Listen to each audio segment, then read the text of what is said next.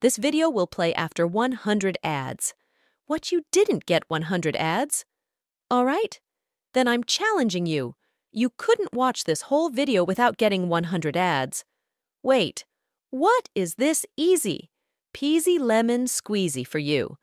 Then I have some hard challenges for you. So are you ready? But first, can you like subscribe and comment done before we start the challenge level?